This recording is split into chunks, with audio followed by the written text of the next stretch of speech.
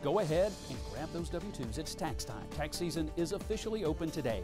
It's the first day the IRS will begin accepting your tax returns. Parents, heads up, make sure to keep an eye out for a letter from the IRS known as 64-19. The letter pertains to 2021's Advanced Child Tax Credit, which was paid out from uh, July through December of last year.